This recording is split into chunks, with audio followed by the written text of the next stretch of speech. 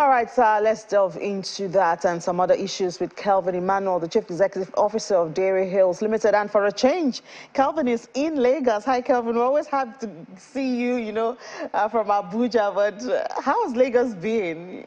Hectic. well, this is where the money is. So you can't get it easy. You have to hustle for it. So, I mean, that's where we are here. Early mornings, late nights. Yes. Yes. Well, it's good. It's good to be here. Uh, good to have you here, Yes. Kelvin. So, um, we finally saw the CBN governor in the House. Uh, a, a lot of us think that thought that, um you know, this wasn't going to happen. And uh, of course, there was that threat of arrest and, and things like that. But at the end of the day, uh, I guess his appearance has it made any difference to the situation? Because yesterday, I, mean, somebody told me, a POS told me to pay 1,500 naira to withdraw 10,000 naira. So those are the issues on ground. Those are the realities that Nigerians are facing. Um, small businesses that need the little, little cash. Even transferring now, I guess the infrastructure is getting so much activity that using it now, there's so many uh, truncated uh, transactions at this time. Well, to be honest with you, um, I think the CBN is chasing shadows. There are important issues. It's like majoring on the minor. You have a situation where there are about 1.5 million um, POS terminals in Nigeria under the PTSP framework and the open banking framework. And currency hawking is actually illegal in the CBN Act.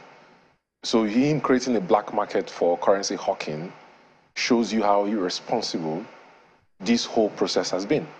Because there is nowhere in the world where you implement a Naira redesign to reissue new notes and you do it within 90 day cycle and you cause a frenzy that is actually a threat to national security.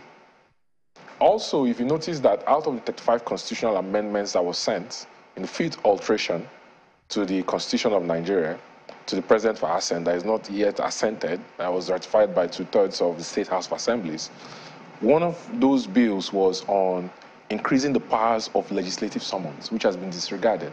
And you notice that the Senate and the House has repeatedly invited the leadership of the Central Bank of Nigeria to come and explain to them why there is such a short period for this Naira redesign and um, reissue of new notes.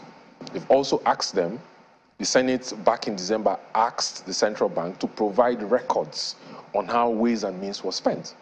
That has not been provided until today.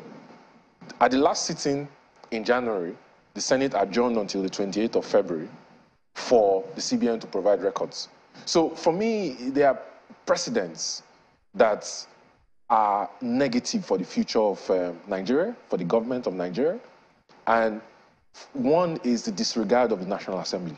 So you don't think that uh, the conversations around uh, helping curb vote buying, you know, is valid enough? There is nowhere in the CBN Act where vote buying, um, fighting illegal um, um, um, um, violation of campaign finance laws is stated.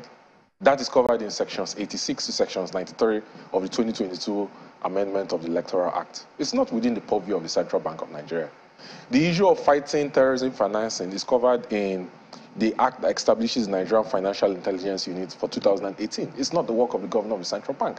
The question, when, when this discussion comes up, question I usually like to ask is, in 2016 or 2017, the state security agencies discovered a stash of 43 million USD in Ikoyi called the Ikoyi Gate. Question I have for them is, how did they find it? Information. The EFCC also discovered 9.8 million dollars in the house of the former group We manager. have, whistle, we have the whistleblowers policy that could, that could have led to that. They, they have intelligence gathering. If you want to fight people who have hordes of cash in their house, why don't you deploy the, the, the wherewithal of the state security agents? Why is the CBN governor so concerned when he has inflation at 21.34% for core inflation? And the unofficial inflation numbers, in my opinion, are over 40%. The, this government is going to bequeath $171 billion in debt to whoever wins the elections next month, this uh, February. Why is he so concerned about chasing shadows? There are issues, more important and critical issues affecting the lives of Nigerians So on a what, daily what, basis. what do you think is the way out now? Because we are in it. I mean, I, I, don't think any average Nigerian hasn't felt this. Um, you, you, you have conversation with people, you don't have cash. They're queuing for PVC.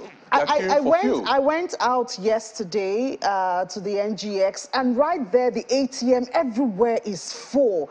Everybody is feeling it. How, from your perspective, can we get out of this? Because you go to the filling stations, you are, you, have, you are pressured from that area. You are being told to buy petrol 300, 400, if at all it's available. The attendants are asking you to also tip them when you finish. In fact, they're compelling you to tip them when you finish. You know, after paying such a high price, then you don't even have the cash. And then you want to transfer, do a transaction. You get hooked. Some of the apps are not even working at this time. You know, so much pressure for Nigerians at this time. How do you think this will affect the elections? People's mind, you know, when they are voting and preparing for the election, so much pressure.